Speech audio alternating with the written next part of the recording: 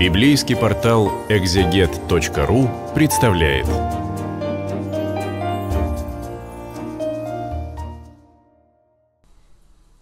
Здравствуйте! На портале Экзегет.ру с вами протерей Дмитрий Сизаненко из Санкт-Петербурга.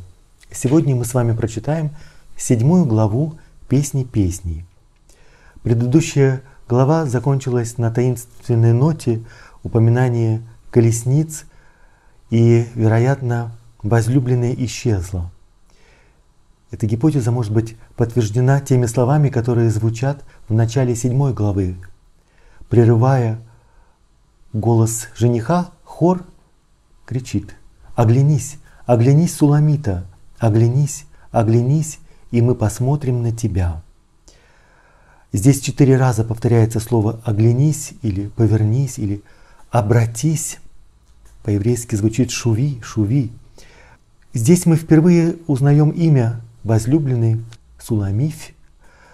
И многие экзегеты здесь видят то же имя, которое встречается в третьей книге царств. Престарелый Давид нуждается в помощи, и есть прекрасная женщина Ависага, Сунамитинка, молодая, прекрасная, которая в старости согревает его ложе и сопровождает Давида. То же самое имя. Другие экзегеты здесь видят игру созвучий, потому что имя Суламиф, как и имя Соломон, созвучное и ей, содержит в себе образ шалом, мира, так же как и слово Иерусалим, город мира. И поэтому это возлюбленная носит имя мирное, точно так же, как ее возлюбленный носит не просто имя Соломон, но имя мирный, что наводит на мысль о том, что настоящая любовь и свершившаяся любовь возможна только там, где есть мир. И мир это не просто отсутствие войны.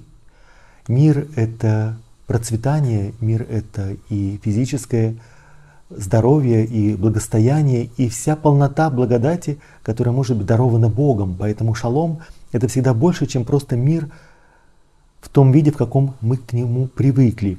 И поэтому имя этой героини, как имя царя, имя жениха, ее избранника, как имя столицы, все это позволяет нам видеть, как все существительные в этой главе склоняются в превосходной степени. Все прекрасно.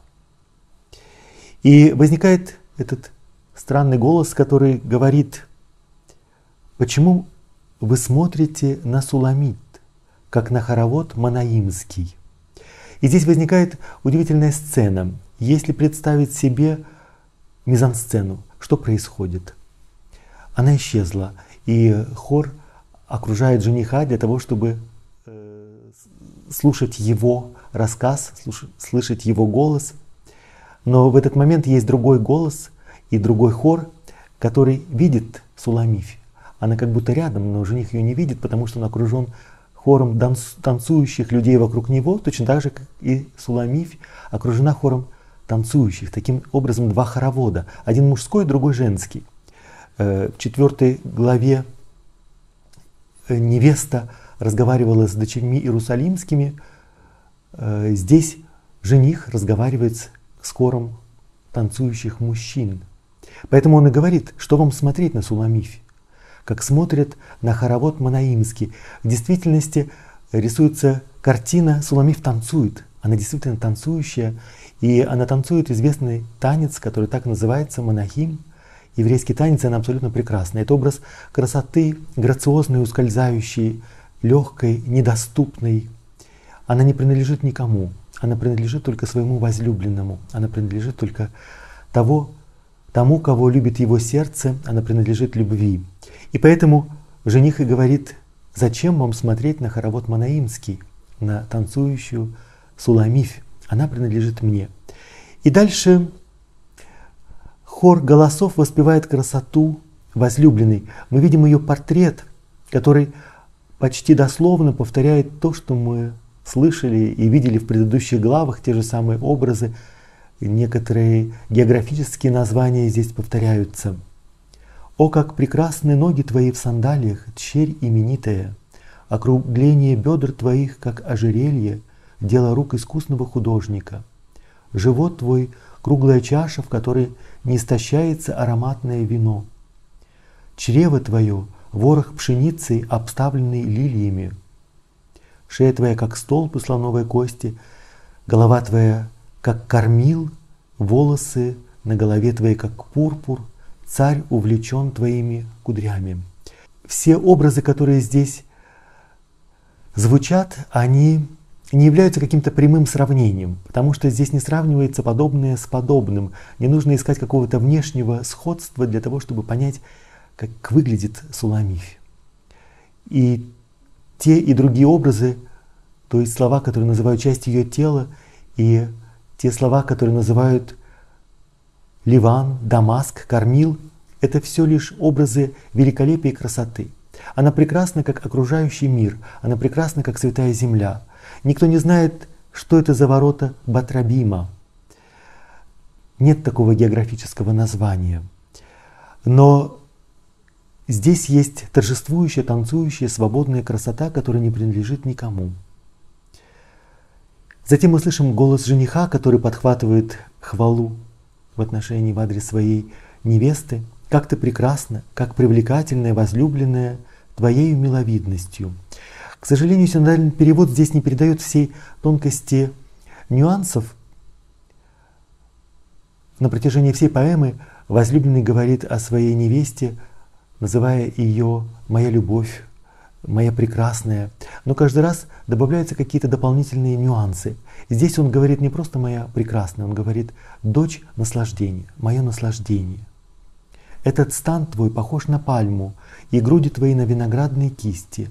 Подумал я, влез бы я на пальму, ухватился бы за ветви ее, и груди твои были бы вместо кистей винограда, и запах от ноздрей твоих, как от яблок, уста твои, как отличное вино.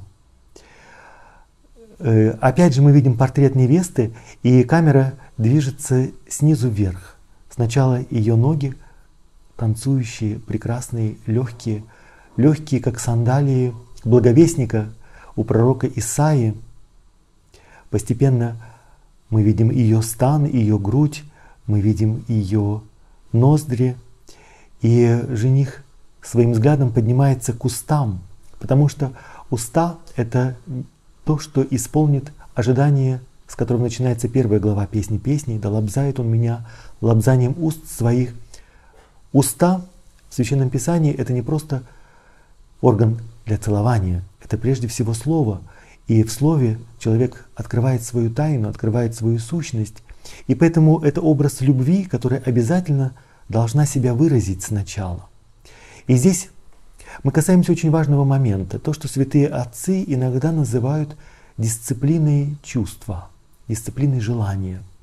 Для того, чтобы желание раскрылось и достигло своей полноты, для того, чтобы оно принесло максимальную радость, его не нужно исполнять тут же.